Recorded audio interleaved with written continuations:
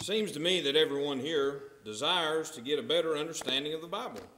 And that's a good thing. And there are several different effective ways to gain a better understanding of the Bible. For example, you could do word studies. You could look at things by chapter. You could study a specific text. You could look at things topically. There are several ways to get a better understanding of the Bible, but all of them involve an open Bible. There's no way to get a better understanding of the Bible with a closed book. One of the things and one of the ways we have chosen to, or we are choosing to get a better understanding of the Bible is by character studies. And we're talking about Bible characters from A to Z. And not all the characters in the Bible are good. Some of them did very terribly. But it's in the Bible, and we can learn things from their lives. So tonight we're going to talk about Rachel. Rachel, beautiful and well favored. There are five B's that we're going to talk about with regard to Rachel tonight. Number one, we're going to talk about Rachel, the daughter of Laban, was a believer in the one true God. We'll establish that scripturally. Number two, we're going to talk about Rachel, kindred of Jacob. That is, they were probably cousins. We'll establish that. But she was beautiful. Bible settles that. Number three, Rachel, wife of Jacob, was barren and had no children for a while. Number four, Rachel, mother of Joseph and Benjamin, was blessed. How was she blessed? I just told you, Joseph and Benjamin. And then number five, we'll talk about the benefits of the life of Rachel being recorded in the scripture. So that'll be really our application. Open your Bibles with me, if you would, to the book of Genesis. We'll start here in around about chapter 30 as we begin to discuss Rachel, the daughter of Laban, was a believer in the one true God. Well, preacher, how do you figure that Rachel was a believer in the one true God? Well, let's look at Genesis chapter 30 here. Genesis chapter 30 and verse 6 And Rachel said, God hath judged me, and hath also, what does the Bible say? Heard my voice. Now, what does that imply? It implies to me that she's been praying. Praying to whom? Praying to the obviously the one true God. But look also in this same chapter, but verse 22. And God remembered Rachel. When God remembers something, that means he's about to do something. And God hearkened. That is, he listened to her. He heard her. Proverbs 15:3 teaches that the eyes of the Lord are everywhere, beholding the good and the evil. So there's nothing that goes on on this planet that God is not totally and absolutely aware of. However, everything that he knows, he does not look at favorably. From the context of those two passages, it seems not only did God hear Rachel, but he heard her favorably. Well, you know just as well as I do, I think, that prayer is a spiritual blessing. That is an advantage that the faithful children of God have. Proverbs, or you can look at Proverbs, but really 1 Peter 3.12. For the eyes of the Lord are over the righteous, and his ears are attentive unto their prayers. So it is safe to conclude, and more than safe, it's scriptural to conclude that Rachel was a believer in the one true God. God hears everything. He is totally aware of everything that goes on, but he is not pleased with everything that goes on. From the context of those two passages, it seems that God was pleased with Rachel, therefore it is safe and more better, I guess more better, better to conclude that she was a believer in the one true God. Number two. Rachel, kindred of Jacob, was beautiful. Preacher, how do you figure that Rachel and Jacob were kindred? Glad you asked. Let's look in Genesis 28.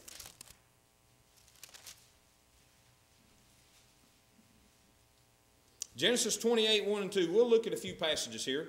We're going to establish first that Rachel and Jacob were kindred, but then we're going to establish that she was beautiful. Genesis 28, 1. And Isaac called Jacob and blessed him and charged him and said unto him, Thou shalt not take a wife of the daughters of Canaan.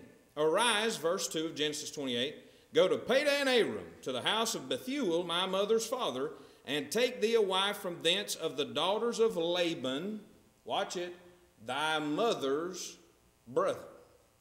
Do you see that? Now look at verse 5. And Isaac sent away Jacob, and he went to Padan Aram unto Laban, the son of Bethuel, the Syrian, the brother of Rebekah. How do you miss that? Jacob's and Esau's mother. Does that seem a little weird? Does that seem a little odd?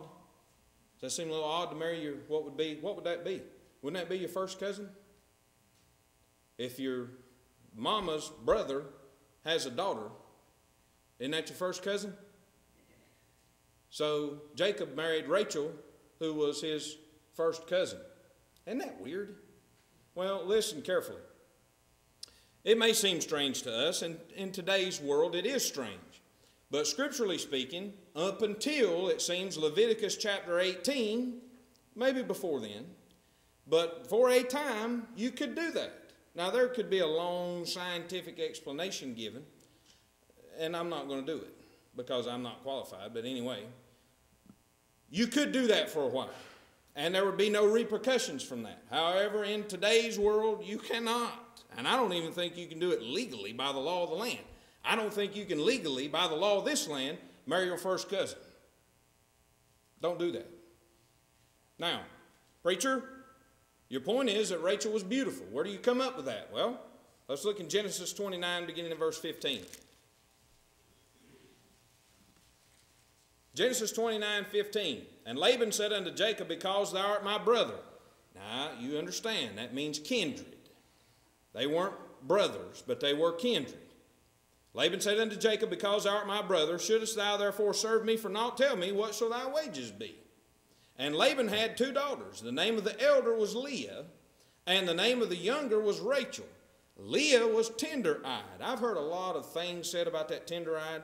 It probably simply means her eyes were not as, as blazing as Rachel's. Had, she was not deformed or anything like that. But Rachel was beautiful and well favored. Now, Moses, most likely, is the inspired writer of all five books known generally as the Pentateuch. Those are the first five books of the Bible Genesis, Exodus, Leviticus, Numbers, and Deuteronomy. Question Did Moses write his uninspired opinion? No. The Holy Spirit is the one that inspired Moses to write that. Moses may have only seen her through the eyes of his mind if he even did that. So, who said that Rachel was beautiful? The Holy Spirit. That settles it. So, she was beautiful. Well, how beautiful was she? Well, Jacob thought she was so beautiful that upon first sight he kissed her and lifted up his voice and wept. Where does the Bible say that? Genesis 29 11. And Jacob kissed Rachel and lifted up his voice and wept. How beautiful was she? She was so beautiful. Look at Genesis 29 18. Jacob loved Rachel. He looked at her and said, Baby, I love you. You're my first cousin, and I love you. Jacob loved Rachel how much and said, I will serve thee. Now remember, Laban asked him, What, what are your wages? You name your wages. Jacob loved Rachel and said, I will serve thee seven years for Rachel, thy younger daughter. Boys, is your wife that beautiful? You may not need to answer that out loud. But have you ever seen a woman so beautiful at the first sight, you say, Oh, I love you. Run up kiss her and start crying. And then her daddy say, What you get me for? Basically. I'll give you seven years of my life. That's a knockout right there, man. Ain't it? Wouldn't you say? Very, very much so. That'd have to be, wouldn't it? So she was beautiful. And incidentally, he didn't just work seven years, did he? He ended up working 14. He got duped there a little bit, didn't he? So I, you do a little math. I'm 35. 14 years of my 35 year old life would be 40% of my life. Now, if you count it from the time I was 18, now you think about it. When I became an adult, man, that's like 82, 83% of my whole life. 14 years is a long time, isn't it? But she was that beautiful. Now, some of the things that we read in the book of Genesis that may strike us as odd, They were lawful, and they, some of them were customs of that time and place. We don't live in this time. We don't live in this place. So to read these things and say, wow, the Bible's just so weird, it's really not. There were some things that were lawful for a period of time that are no longer lawful. There are some things that are customs that we just don't do. Okay? Number three, Rachel, wife of Jacob, was barren and had no children for a while. Preacher, how do you figure that Rachel was barren? Well, let's look in Genesis 29 and verse number 31. And when the Lord saw that Leah was hated, I'm going to give a little, little excursus right here. Look back in verse 30. And he went in also unto Rachel, and he loved also Rachel more than Leah. What does the Bible say? Jacob loved Rachel more, loved more in verse 29. But in verse 30, Leah was hated. Therefore, what? Sometimes in the scriptures, the word hate simply means love less. He had six kids with Leah. It wasn't that bad. He didn't hate her that much, did he? Do you understand? He loved her less. And when the Lord saw that Leah was hated, he opened her womb, but Rachel was barren. Look also at chapter 30 and verse 1. And when Rachel saw that she bare Jacob no children, Rachel envied her sister and said unto Jacob, Give me children, or else I die. Now, Rachel seems to reveal the prevailing attitude of women in her day. What is it? Give me children, or else I die. Now, it seems to me, and here'll be a little mini lesson for you, that at least in this time, with what we may see as some of their strange customs and practices, children really were an heritage of Jehovah. Psalm 127 and verse 3. Today, it seems that by and large in our society, children are looked at by some as more of a burden than a blessing. Well, what was Rachel's attitude toward children? Give me children or else I die. That's really what she wanted. She wanted children that badly. And when you look at the state of the country in which we live, where children are aborted and literally thrown in trash cans, literally, ripped to pieces and thrown in trash cans, what a sad commentary to read Rachel's attitude here.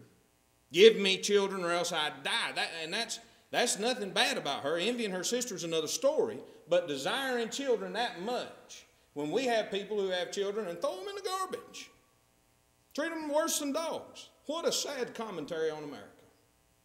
What a sad commentary where we today are more concerned with money and things than we are people. But that's the place in which we live. And incidentally, Rachel was pretty sad, but I, I seem to recall us talking about a woman by the name of Hannah. And Hannah was sort of in this same position or predicament for a while, wasn't she? And I remember something about Hannah. Hannah remained persistent. And did her persistence pay off? Yeah, it did. Well, what do you think will happen to Rachel? She was barren for a while, but now, number four, Rachel, mother of Joseph and Benjamin, was blessed. Sometimes we need to just hang in there a little while. God knows more than we know. I can't explain everything for God. I can't give you an answer for everything. But I know God does what's right. He's always working in our favor. Rachel, who said, Give me children or else I die, was blessed with a child. Where at? Genesis chapter 30, beginning in verse 22. Look at it again. And God remembered Rachel. Question Did he ever forget her? No. When you read in the scriptures, God remembering, that means he's about to do something. So when God remembers in the scriptures, it's not that he ever forgot. That's a figure of, expe- a figure of speech expressing that he's about to do something. God remembered Rachel. Now, what did God do to her? And God hearkened to her. Well, what was she asking God for? Give me children or else I die. So obviously, she was praying for children. So God hearkened to her and opened her womb. Question Is that miraculous? No, that's not miraculous. How do you explain it? God opened her womb. God opened her womb, verse 23, and she conceived and bare a son and said, God hath taken away my reproach. Do people still feel like that about children? I wonder sometimes. God hath taken away my, my reproach, and she called his name Joseph and said, The Lord shall add to me another son. Now, do you know that she was given another son? Yes. Where? Look at me in Genesis 35. Genesis 35, beginning in verse 16. Rachel tried to concoct some things sort of like Sarah did and try to have her handmaid have children by her handmaid, and that, that happened. We'll talk about that more in a minute. Genesis 35, 16. And they journeyed from Bethel, and there was but a little way to come to Ephrath or Ephrath, and Rachel travailed, and she had hard labor. And it came to pass when she was in hard labor that the midwife said unto her, Fear not, thou shalt have this son also. And it came to pass as her soul was in departing, for she died, that she called his name Benoni. But his father called him Benjamin. And Rachel died and was buried in the way to Ephrath, Ephrath, however you want to say it, which is Bethlehem. And Jacob set a pillar upon her grave. That is the pillar of Rachel's grave unto this day. Rachel was a believer in the one true God. Rachel was beautiful. Rachel was barren for a while, but Rachel was blessed, and now number five. Let's talk about the benefits of the life of Rachel being recorded in the scriptures. What, of all the things that we've talked about, what, what, why is this in the Bible? I'll give you four lessons right here. Number one, the plague of polygamy. You study the scriptures carefully. You go back and look at these old patriarchs. Now, let me state this clearly God, it was never God's plan. It was never God's plan for a man to take more than one wife. Now, they did, and read about what happened to them. Every family was plagued with problems that came from having more than one wife. Now, I say that for this purpose. In this land, this country, just a short time ago, made homosexual marriages lawful. It ain't lawful. All right, we all know that. They can call it whatever they want to. That's not a marriage, no matter what it is. You watch. It don't matter if it's in my lifetime, your lifetime, a hundred years from now. The same reasoning that allows a homosexual marriage will allow polygamous marriages. And watch what happens. Watch what happens. Watch what happens with these homosexual unions. Watch what happens. Look at all the problems that will come from that. And people say, well, it's my right, and this, that, and the other thing, and then they'll allow polygamy. Read the Bible and see what happens with the homosexual unions, number one. It was awful. Read in the Old Testament. Do you not realize that the reason the Israelites were promised the land of Canaan is because of the sexual perversions of the people that were already in that land? And God told Israel, You go in and eradicate these people. Why? read the scriptures. By and large, it was for sexual perversions. What is homosexual marriage? It is a sexual perversion. What is a polygamous marriage? God doesn't wink at that stuff anymore. God doesn't overlook that like He did then. It is a sexual perversion, and there are plagues and problems that come from polygamy. Young people, you need to heed that. You need to listen. You need to listen because it may be when you're old enough to get married, a man may be able to take two wives. You can't do that in God's sight. You need to see the problems that come with that now. Number two, the foolishness of favoritism. You know what happens in polygamous marriages? You read it for yourself. Jacob loved Rachel. Leah was the one producing the children. Do you see that? What was so awful with Leah? Nothing. That was his lawful, legal spouse all the way around, and incidentally, Judah was one of her children. And our Lord descended from Judah, his legal and lawful wife. Now you think about that. What happens with polygamy? It's a plague, but it brings about favoritism. You like this one more than that one. You spend more time with this one than that one. You like this one's kids more than that one's kids. That's a mess. Why is the account of life, uh, Rachel's life in the Bible? So we can see some of these things and say, boys, we cannot make these same mistakes. We cannot allow this to pass. We have to say, that cannot pass. It won't work. Read about these old patriarchs. It didn't work. Even though they may have been able to do it and God overlook it, my Bible says the times of this ignorance God winked at, but now commandeth all men everywhere to repent. That won't work. God had it right from the beginning, brethren. One virgin man, one virgin woman, united together in holy matrimony for one lifetime. That's right. That's how it was in the beginning. You start seeing some foolishness happening here in the book of Genesis, and it starts to rear its ugly head. It may sound good, but everything that sounds good isn't good. Number three, be careful what you say. Look at me back again in Genesis chapter 30 and verse number 1. Be careful what you say. And when Rachel saw that she bare Jacob no children, now obviously you can read the text and see the problem was not with Jacob. Jacob was producing children by other women. Plague polygamy, foolishness of favoritism. When Rachel saw that she bare Jacob no children, Rachel envied her sister and said unto Jacob, What does she say? She says, Give me children, or else I die. Better watch what you say. Because you read what happened at the birth of her second child. What happened? She died. Either make the tree good and its fruit good, or else make the tree corrupt and its fruit corrupt, for the tree is known by its fruit. O generation of vipers, how can ye, being evil, speak good things? For out of the abundance of the heart the mouth speaketh. A good man out of the good treasure of the heart bringeth forth good things. And an evil man out of the evil treasure bringeth forth evil things. But I say unto you, Jesus says this, that every idle, careless word that men shall speak, they shall give account thereof in the day of judgment. For by thy words thou shalt be justified, and by thy words thou shalt be condemned. That's what Jesus says in Matthew 12 33 to 37.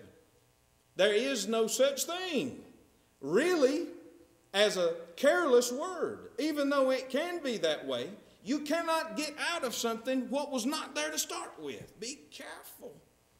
Be careful what you say. Now, number four. Her soul was departing. Look back at me in Genesis 35. You know, there are some people who believe that the only thing that we are is what we can see. That all there is to you is flesh, bone, blood, material things. The Bible does not teach that. You are a threefold being. You are body, that's what we see, but you are soul and you are spirit. Let some of your religious friends read Genesis 35 18 and have them explain it to you.